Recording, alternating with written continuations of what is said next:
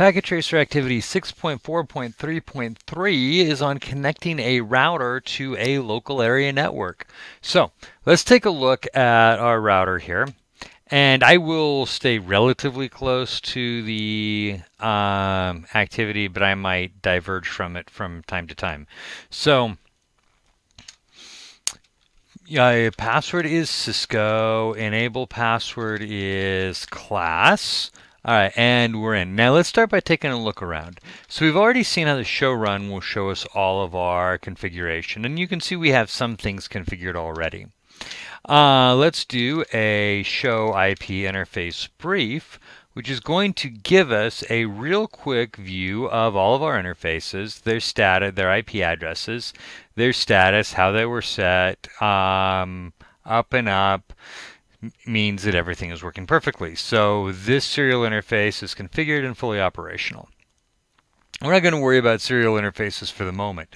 We are going to do um, a little more work with our Ethernet interfaces. I want to come back to this and to a couple of other show commands here a little bit later on. Um, but let's do some configuration first, and then we'll come back and we'll display some of this other information. So we're going to start on R1, and we are going to configure our gigabit Ethernet interface 00. So, I'm going to go enable config T. I was already in privileged mode, but that's okay. Config T interface gigabit Ethernet 00. 0 slash 0. We're going to set an IP address using the command IP add, and our IP address is going to be 192.168 type the right thing, 10.1. And then when we do that, we also need to put in the uh, network mask. So 255.255.255.0. Now, one thing with routers is that by default, all of their interfaces are administratively down, which means somebody has gone in and put in the shutdown command. It's a default option. So we need to issue the command no shutdown or no shut. And when we do, we should get this. Interface gigabit Ethernet 00 change state to up, line protocol, and sometimes depending on which interface you're using, it may take a second or so for this to come up, but line protocol should change state type. Even it normally comes up right away. Okay, so best practice is to put a description on the interface as well. So we're going to do description LAN connection to S1. And that's just going to make our life a little bit easier when we look at our running config. Let me show you what I mean by that. Uh, and so let me do a show run, and we're going to find gigabit Ethernet 00. That's going to be right here. And this description shows up right away. And so that tells us, hey, this is where this goes. This is what we're doing with this interface. And then we'll have the IP address. And notice Gigabit Ethernet 01 has the shutdown. This does not. Therefore, it's not shut down and it's fully operational. In fact, if we look, we'll see, hey, fully operational. Okay, so that's basic, pretty much all you have to do to configure router interface. Set a description, which not required but best practice, set an IP address and subnet mask, and then activate it. Now as we get along deeper into Cisco, we're going to see a whole lot more or a whole lot of other options. But for a basic one, that's all it takes. Let's go ahead and scroll up to our table here, and we're going to configure the rest of our stuff. So Control C, because I'm done with that config T, and we're going to go into interface G01. We're going to set an IP address of 192.168.11.1 with a subnet mask of 255.255.255.0. And then this one is a link to S2. So we're going to do description. Ah, uh, I don't even remember what we called it. Let's see if we can match it. Doo doo doo is in here somewhere. LAN connection test S2, that's what it was. LAN connection to S2, just so that'll be consistent. And copy, run, run. There we go. Start. Okay, um, we'll come back to this a little bit later. Let's go ahead and configure S or R2, and then I want to show you some more show commands where we can see a little bit more data about our interfaces. So let's start with our CLI, and we're going to configure this. Cisco class. Config T going to interface uh, G00 and we're going to set an IP address of 10.1.1.1 no shutdown, and G00 here, I believe, is our link to S3. So we're going to do a description. Now, anytime you see that uh, I didn't have a prompt there, I just hit enter and it gave me a prompt back immediately. Anytime a command like this pops up, just hit enter and your uh, prompt will return. So let's set description, LAN connection to S3. And then we're going to interface G01.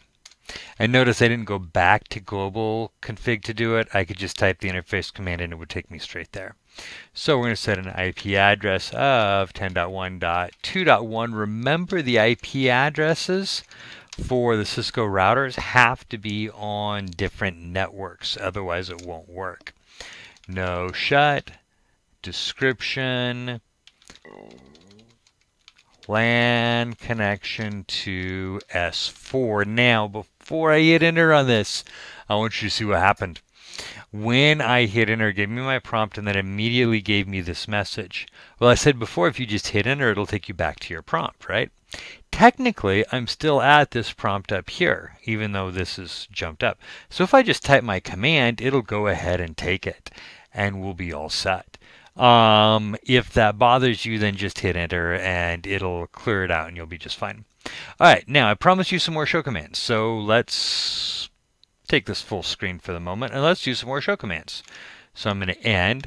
Show run is something we've talked about before, and now we can see our gigabit Ethernet configurations and our serial configurations, and we can see everything. So show run, uh, show IP interface brief we looked at forgive the pun briefly, a little bit earlier on, and we can see that now it's all configured. And you can see these uh, this interface is still administratively down. That's because we haven't put a no shutdown command on it. Remember, that's a default for all interfaces on a Cisco router.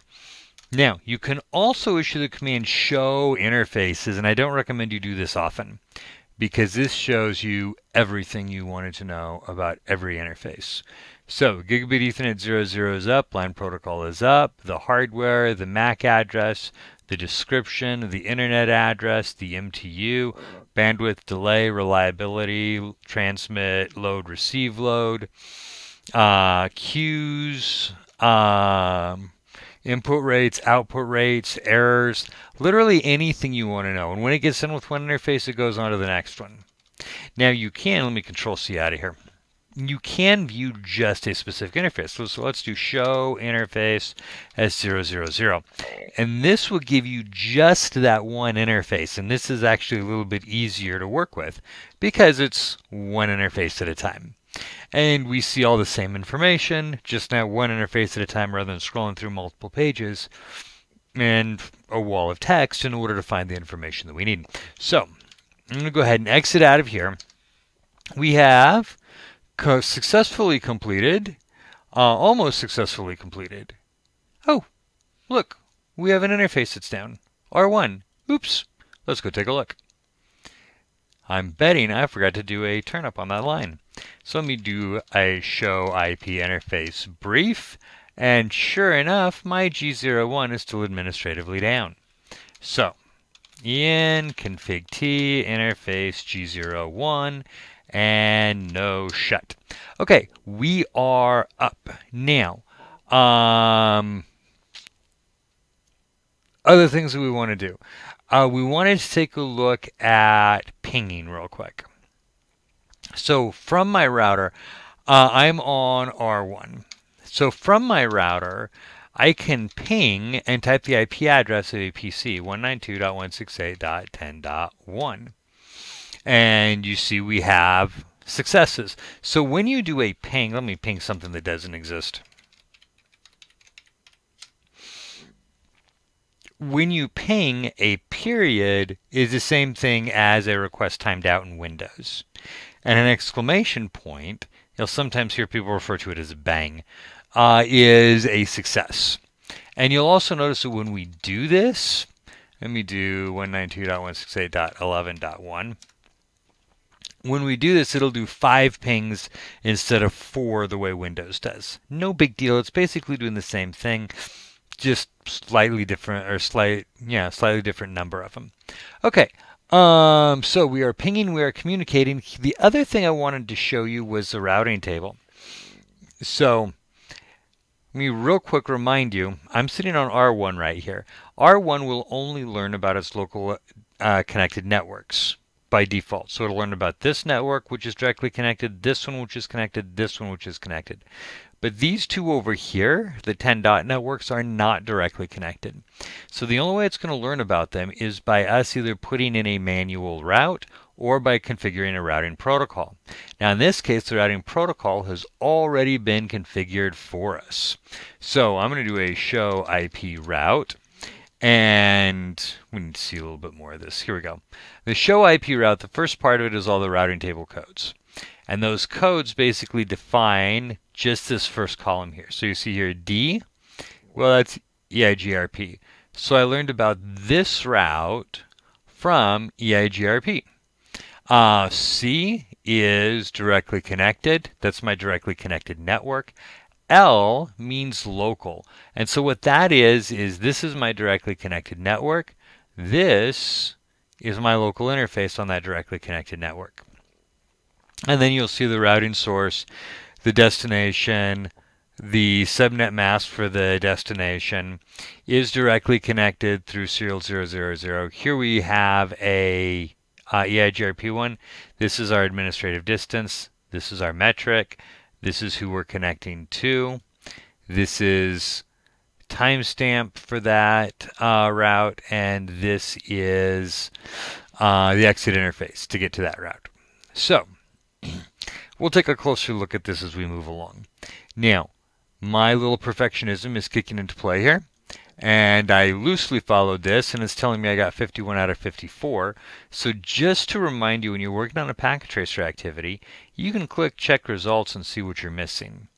And in this case, it's saying, oh, saying I didn't save uh, the startup config on R2 apparently. Yeah, well, not a big deal. Um, let me do that real quick. I'm going to go to R2, Cisco, enable, class, copy, run, start. And there we go. I'm now at a perfect score. Okay, I feel better about myself now. All right, so that is Packet Tracer Activity 6433 in which we learned how to configure an IP address on a local area interface, activate that interface, and then we looked at some ways to inspect what's going on on those interfaces.